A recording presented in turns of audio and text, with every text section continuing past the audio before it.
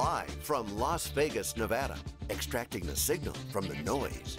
It's theCUBE, covering Informatica World 2015. Brought to you by Informatica World. Now, here's John Furrier and Jeff Frick.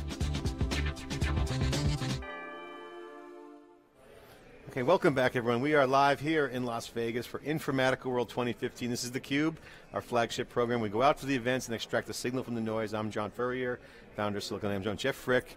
Here with the wrap up, we have Debbie O'Brien, who's back to help us wrap up. We kicked off the segment and we're going to end it together yeah. as a team and a group. We're going to collaborate on our shared learnings, what was magnified for us today. Um, just, we'll kick it off. What's, what's up? What are you guys seeing? What did you see? Great energy, you know, and, and, I hope you guys saw that your first time at Informatica World. Passionate execs, customers who love us. You know, our loyalty ratings are through the roof.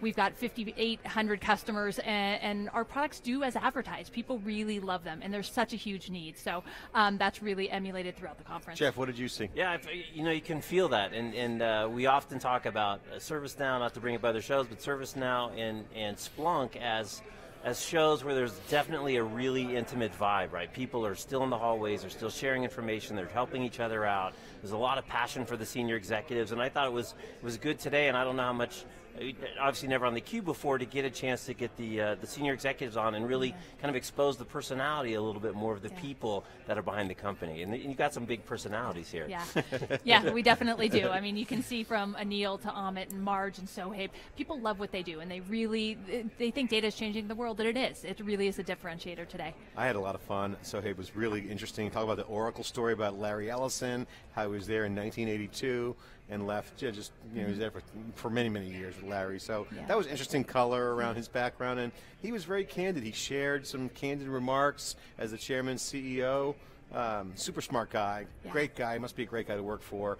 Um, and then we had customers on. We had the the Humana company, who's a Fitbit, gives you social data. We've had the Ivan on, who's strategy guy, who's awesome. And Marge, she was cracking me up, but she was so smart really hit it off with her. I like I liked her. She's a data geek like oh, us, yeah. and and uh, as a CMO, really plugged into what's happening. So yeah. just a lot of great guests and a lot of great cultural fit here with the Cube, Jeff. I thought it was a great day. Yeah, it was. It was a good day. Um, the other thing is, I think, you know, the, the roots of Wikibon obviously go back to storage, and, and, and you've heard David Floyer and, and Dave Vellante talk all the time. At the end of the day, the apps to this, to that, to this, to that, it's got to sit someplace, right? So the storage is always it's got to be it's got to be stored somewhere. And really, I think it's inf- interesting how Informatica has taken this very similar approach.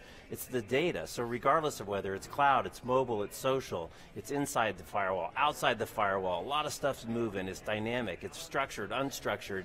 At the end of the day, at the bottom, yeah. sitting on that storage, is a data layer. And so really approaching the problem, I think um, Sue talked about all that stuff's complicated and diverse, but if you look at the problem through the lens of the data, now you've got kind of a unifying structure by which you can address the opportunities, address the problems, and start to tackle some of the things that are going on and just do it at the data structure, especially in the context of, of the security conversation. Yeah, and we had Anil Chakravarthy on, who's the Chief Product Officer um, he was awesome, and he's been on the cube before, so that was uh-huh. great to see him back again.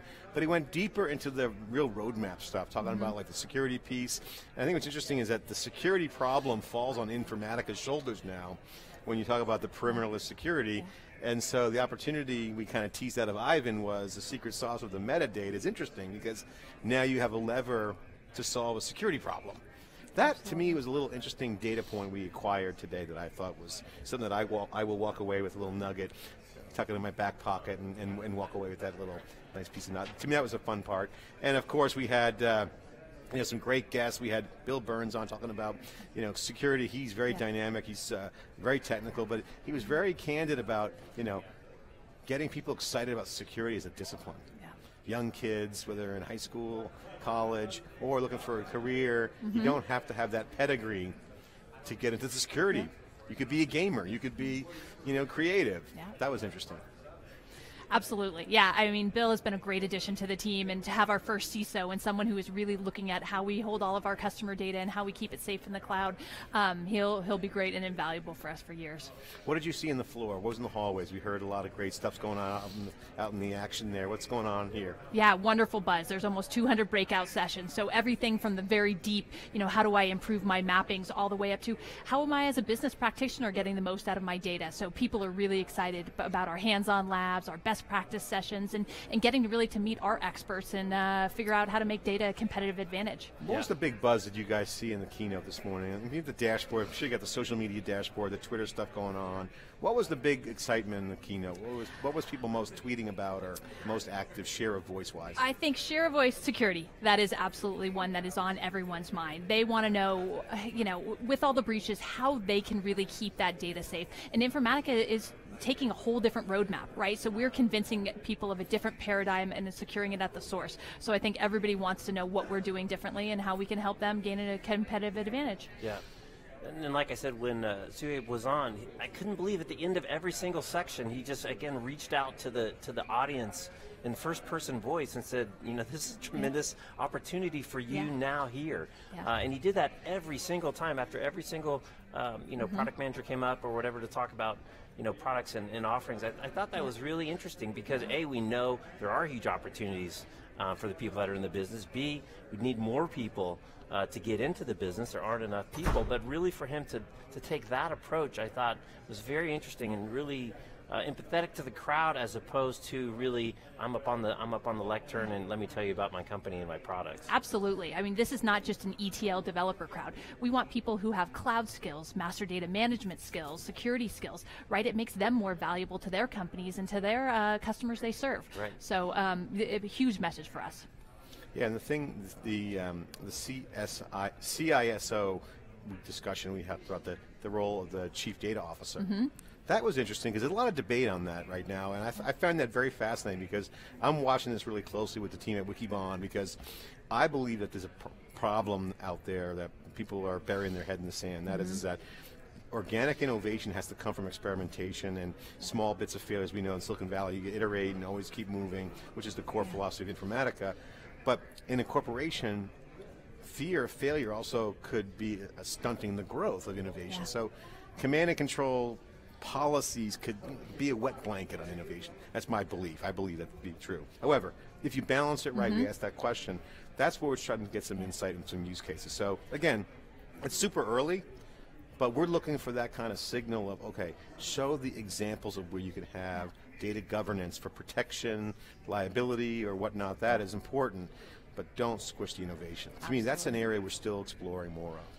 Yeah, and I think that's going to be a key, right? I mean, data is proliferating, and we want to be the folks who put it in the hands of the business users or IT users as opposed to keeping it locked up. So we see a big responsibility in making sure that we can do that safely and that the CISOs can sleep at night, you know, or the CFOs, CEOs, whoever it is. So um, it's a big part of Informatica's story to help um, drive creativity and innovation.